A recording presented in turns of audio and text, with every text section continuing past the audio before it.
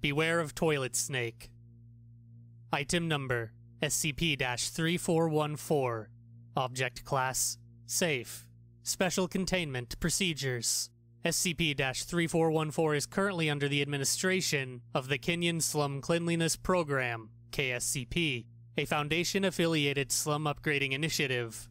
For concealment purposes, it has been incorporated into KSCP's administrative building in the Kibera district.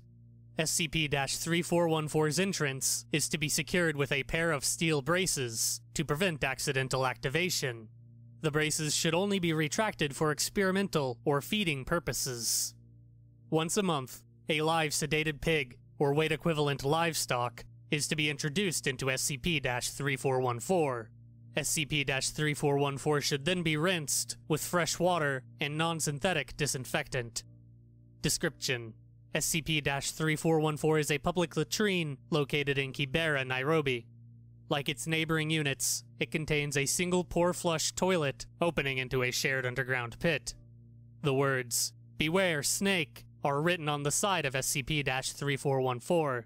Its origin is unknown, as it appears to predate the initial manifestation of SCP 3414's anomalous effects. SCP 3414 activates when a live warm blooded organism exceeding roughly 20 kilograms in weight enters it completely. If left unobstructed, SCP 3414's door will then shut for the following 10 to 12 minutes.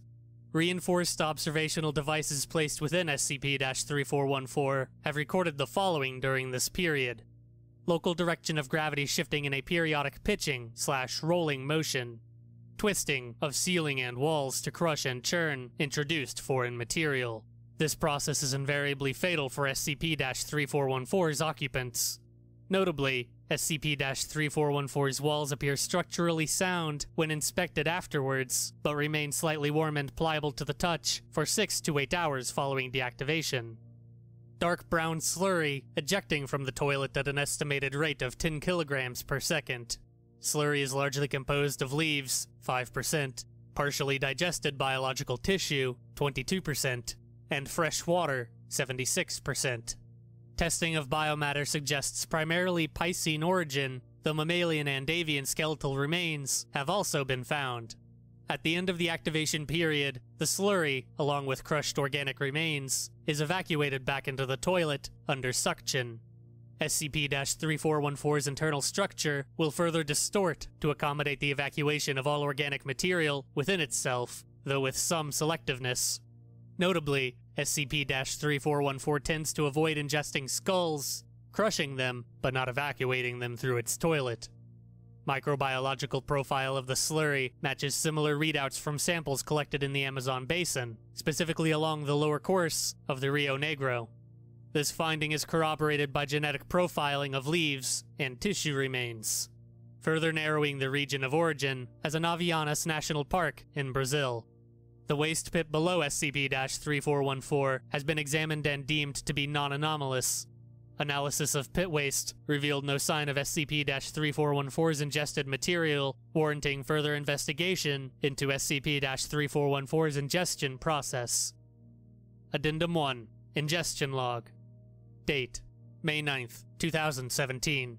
Activation length 10 minutes, approximate. Subject J. Mwangi. Remarks Initial SCP 3414 activation. Subject could not be recovered. Identity of subject confirmed by DNA analysis of biological remnants and bone fragments. Presence of non human DNA in the remains, as well as unusual circumstances of death, alerted contacts and local law enforcement, who brought the anomaly to Foundation attention. Date June 10th, 2017. Activation length 0 minutes 52 seconds. Subject Agent S. Kamau. Remarks Triggered by subject following initial containment.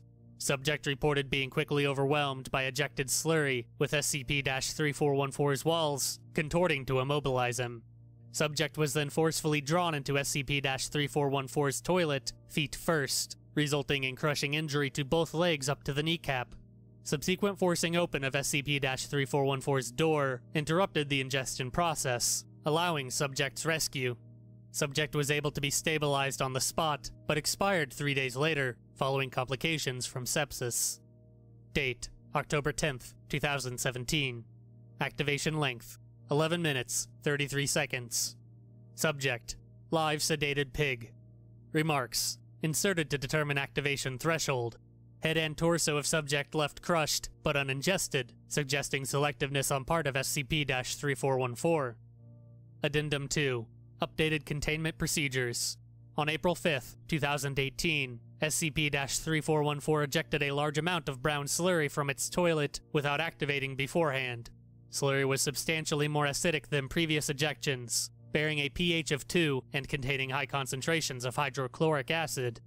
Following cleanup, SCP 3414's walls began to peel, shedding a translucent mucus like substance and leaking a dilute red liquid, later identified as blood. Ejections continued every few hours over the course of the next few days, severely complicating existing waste disposal measures owing to the location of the containment site. Meanwhile, genetic analysis of the blood revealed that it belonged to a single individual of Eunectes murinus, green anaconda. Further CBC testing revealed abnormally low prealbumin levels, suggesting acute malnutrition. Following the advice of resident herpetologist Dr. S. Nyong'o, it was decided that live organic material be administered to SCP 3414 to alleviate this new complication.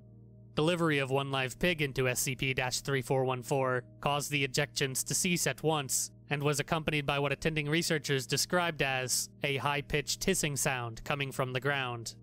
Subsequently, containment procedures were updated to their current iteration to involve regular delivery of livestock into SCP 3414.